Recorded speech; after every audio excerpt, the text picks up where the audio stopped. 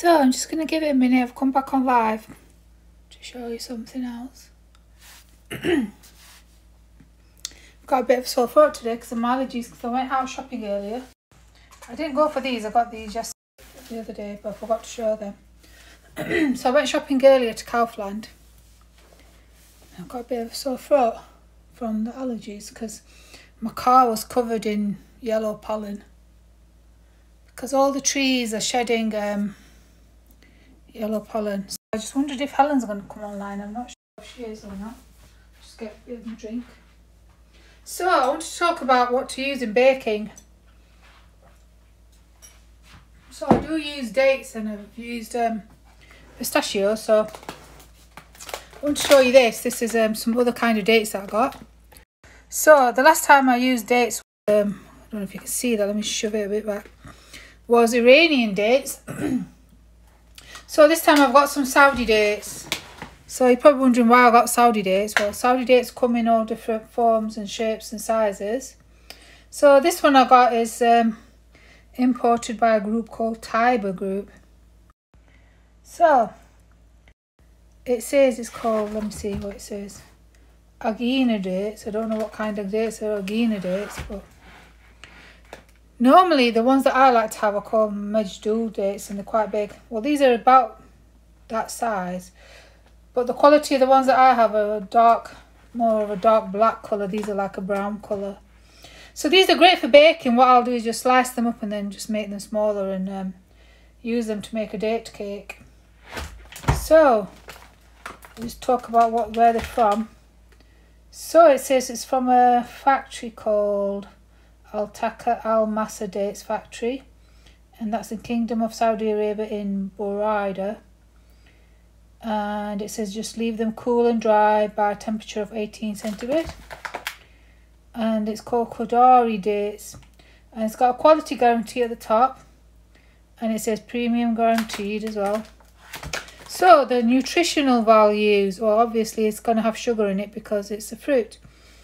So the carbohydrate and the sugar content is 71.4 grams. Uh, egg white is basically protein, 1.6 grams. Salt is 0.13 grams. And fat is 0.2 grams. So if you suffer from diabetes, I suggest um, you don't eat too much of this. You just use it in moderation in baking. But if you eat dates, just have one or two dates a day. And the other thing I wanted to talk about was these, which are um, dried figs. Um, because they're not in season, so it's best to have dried fruits. So you can use these in your baking. So these are from Turkey, which is another country I support. Because I have followers from Turkey, and some friends. So I'm just trying to read the writing because it's very tiny. So it says... Kirigulutarim. Oh, it's so hard to read this. In Aydin, Turkey. Right, let's see if they've got some more information on the site. Well, there's very little to read. Gold Guldir is the brand because the plastic's hard to read it. Guldir is the since 1985 and the brand is Gulder and it's um, produced under a brand see if I can read the writing. Oh, it just says made in Turkey on that bit. So it says Islet me Kayet. And then it says Turkey. Produce of Turkey. And it says keep away from sunlight and in a dry, cool place. Under 12 degrees. And it says Urun Lermiz. Well, I don't know what that means. So it's sun-dried figs. And there it's got some writing in Chinese as well as Arabic on the side. I don't know if you can read that there. Focus it, you can see it. So if anybody can read Arabic there, you can read it there. And there's the Chinese or Japanese writing there as well. So it says Suha fig, figa suzona, fiki seki. I think that might be Japanese, I'm not sure. Fiki seki. So on the bottom it's got the quality Markings TCS ISO 9001 to 2008 quality markings. T um, ISO 2, 2200, 22,000, quality mark 0090. So this factory works to the quality standards. And the best before date is, um, so look. So the crop was, the crop was from last year, 2020, and it's a class one product. But it doesn't say, oh, I should have the best before date somewhere. I did see it earlier. Oh, maybe it's on the top. Yeah, it's on the top. Best before. So it's manufactured on 02 2021 and best for 02 2022. Let's look on the dates, what it says on there.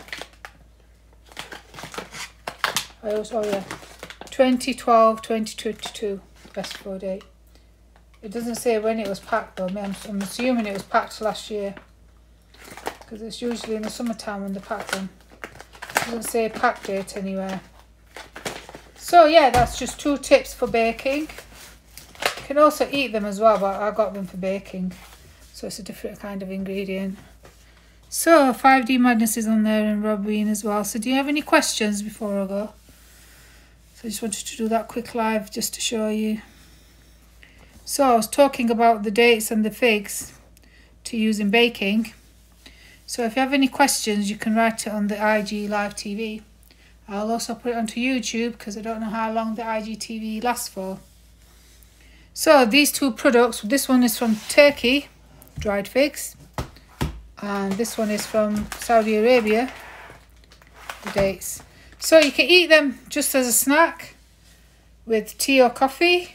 Or you can put them into baking like I do. And then enjoy the cake or whatever it is that I'm, like I make with tea and coffee as well. so because then Ramadan's coming up, so these these dates and things you eat anyway with Ramadan, you break your fast with dates anyway. So yeah, it's coming up. Let me just check the calendar. So the calendar I got, it says it starts on the thirteenth of April. So the first, um, well, could could be the day before, or could be the day after. So I'm not sure yet. So we'll find out when the moon, when the moon gets announced by Saudi Arabia. So I'll be doing another live soon when Helen comes back to me. Because I have a magazine to show you as well. And then Helen's got some things to show as well. So thank you for watching.